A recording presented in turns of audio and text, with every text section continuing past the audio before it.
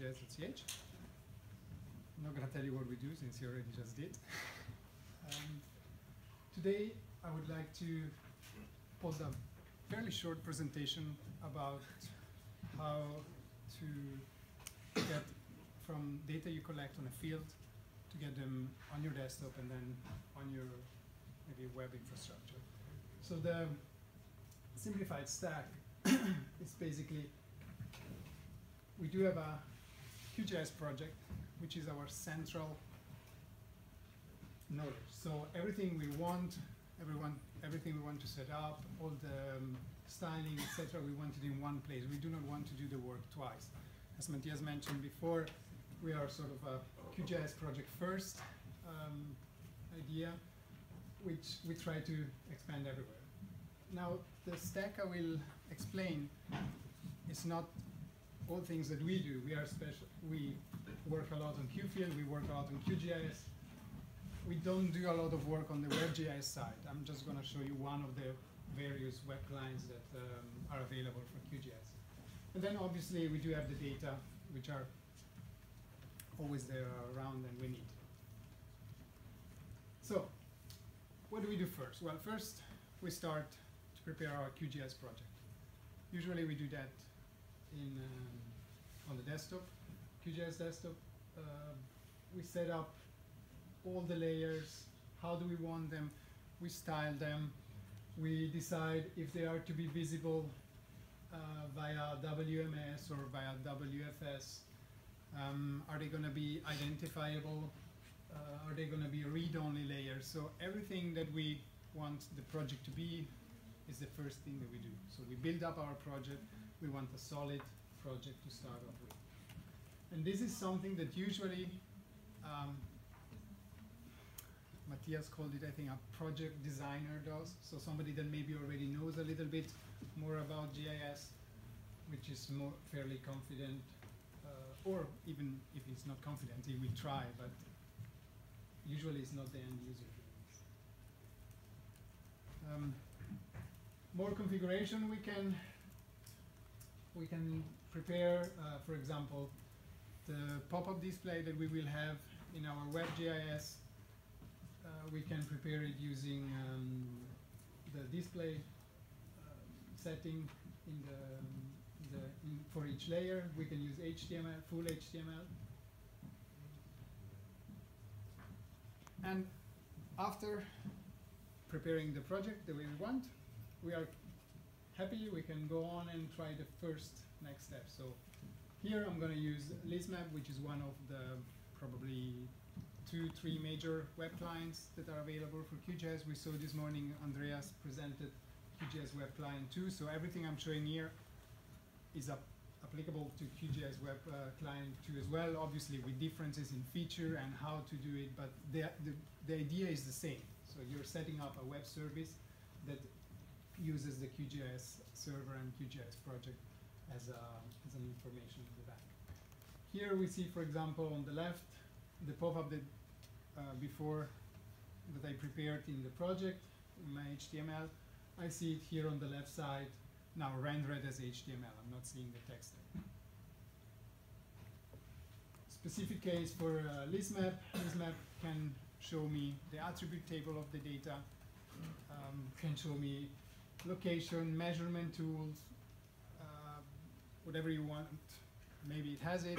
If it doesn't have it, the guys at Qualys uh, probably are very happy if you write a pull request or if you do anything uh, that helps them to develop features. Now, as I'm not very interested in the features itself of what the WebGIS does and what um, all the part of the stack do, but how they work together, moving on already to QField. We've seen just before with Matthias what QField can do. It Was no plan to have the two presentations just right one after the other one, so it's gonna it's good for you. It's a bit of repetition about QField, so you remember the things.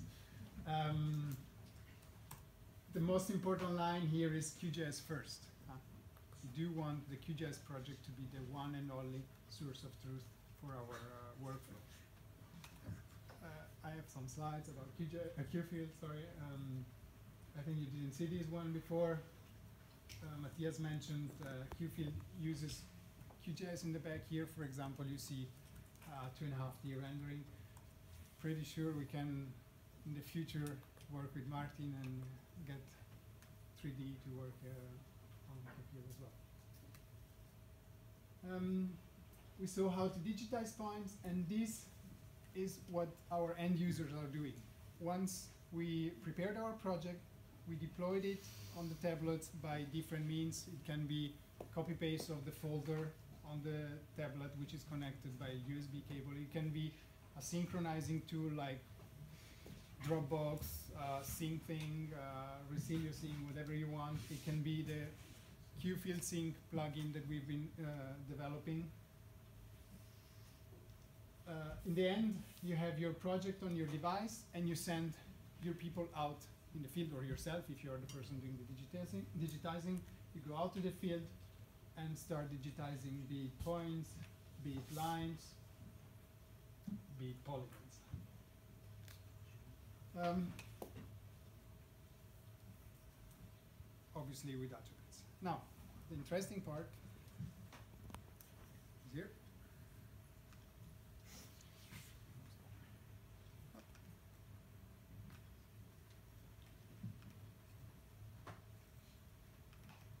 So,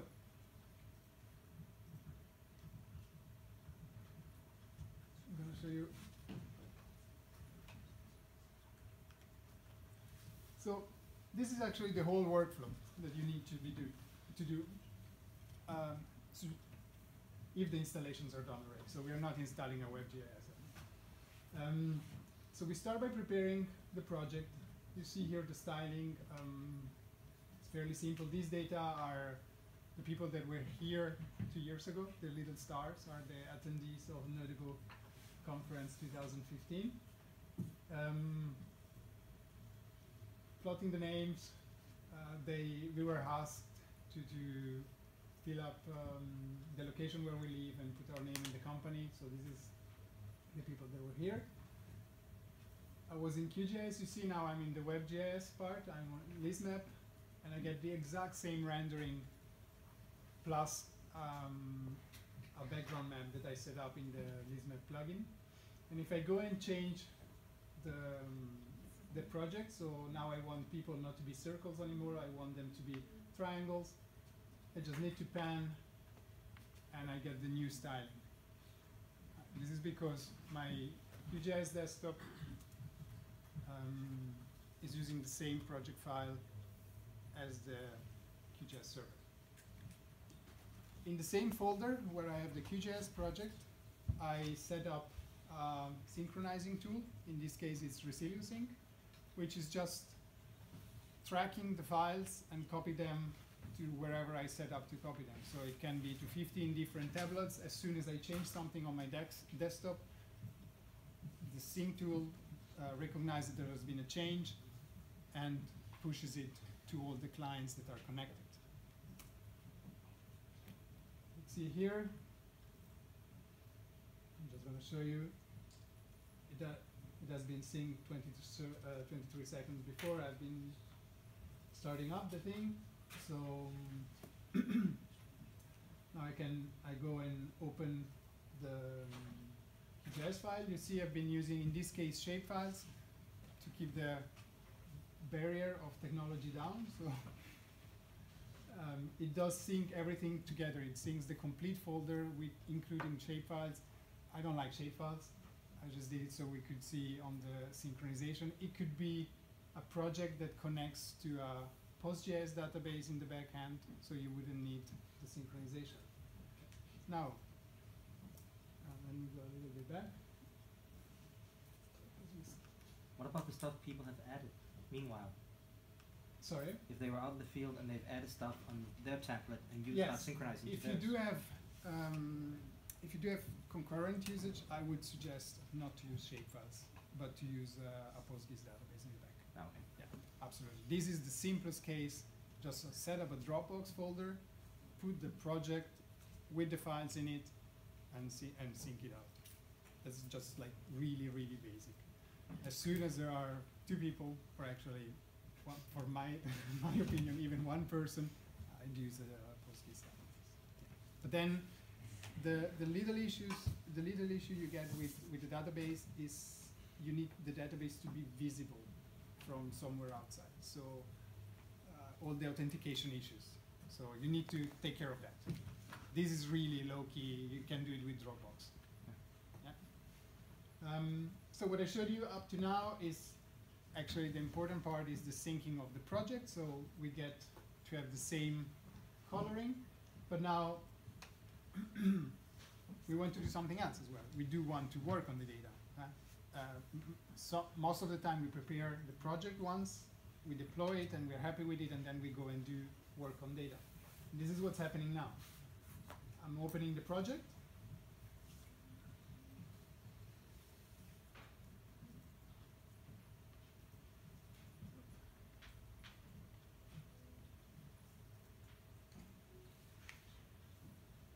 As soon as I have my project open, it's the status that obviously has been synced everywhere. And now I can digitize some new, I did this, I didn't digitize people because there are, there are many more of them. And um, I wanted to, to be more visible, so I'm digitizing these test polygons. Put my simple attribute in it.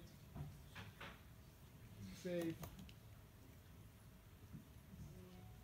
And now I move back to QGIS.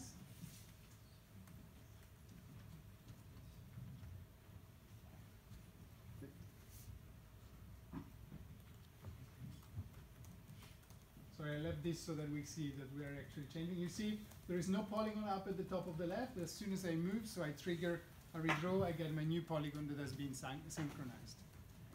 Now, if you're doing it, and same thing on the WebGIS, uh, doing it with Dropbox-like tools might have a little bit of lag because of the synchronization times. It might be that it takes like a minute or two to syn- synchronize, so you're not really uh, real time. You are like semi-real time or something like that with a little bit of lag. As soon as you put a database in the back, where QField connects to the database, QGIS connects to the database, um, Q, um, Lizmap or web, uh, the, the web client connects to the database, then you have real-time data. You have no lag because as soon as the polygon or point or whatever feature is committed, it is present in the database. So the next rendering is actually already up to date.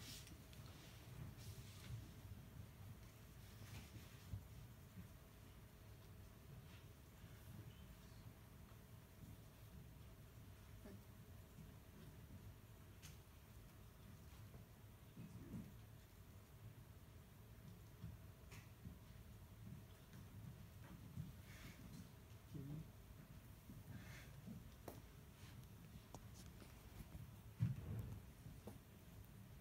Here.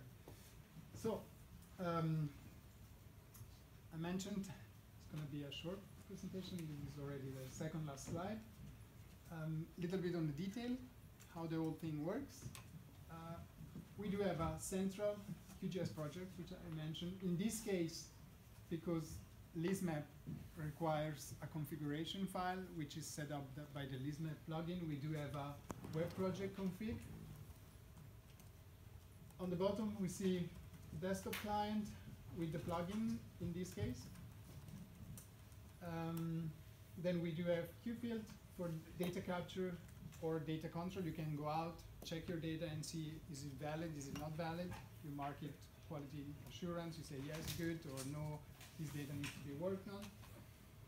And then we do have some sort of web client, which is maybe just the front end to, to some even other users. So imagine uh, if you're thinking about a municipality, you might have the field worker of the municipality being on the field with QField, the people living in the town looking at the web client because they just want to see the data, and then you might have somebody, a GIS analyst that does some analysis to see what's happening, where it's happening.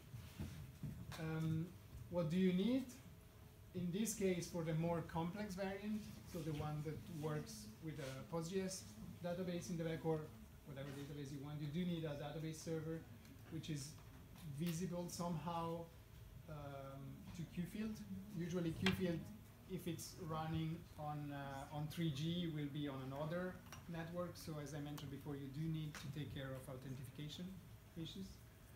Um, you do need the web server to to to serve. Um, web server in this case also includes obviously QGIS server, which will serve the WMS and the WFS. And we do need the desktop because that's where we do all the work for setting up the thing. Um, summing up, for data capture, QField, GIS analysis, QGIS, web publishing, Lizmap, QWC2, GeoNode soon. Um, the idea is to have a one-time configuration so you don't do the work two, three times. There is a workshop on QField on Wednesday, uh, sorry, on Tuesday. and the whole thing costs you nothing in software licenses. Obviously, uh, there is time to learn things, there is time to set up things, and if you want to help develop, uh, obviously, as Matthias mentioned before, uh, pull requests are super well. Um, we like them a lot. Uh, contracts as well, but something that Matthias forgot before and that I think is really, really important is that you can help us writing documentation and translating software. And this is for QGIS, uh, for QGIS, for QField in, in general, for all those applications and any other actual uh, open source tool we tend to like developing and we tend to forget writing about the documentation and uh, translating documentation. So this is a really important part where you don't need to be a developer to be really, really helpful. Actually, most of the time it's better when the documentation is not written by developers.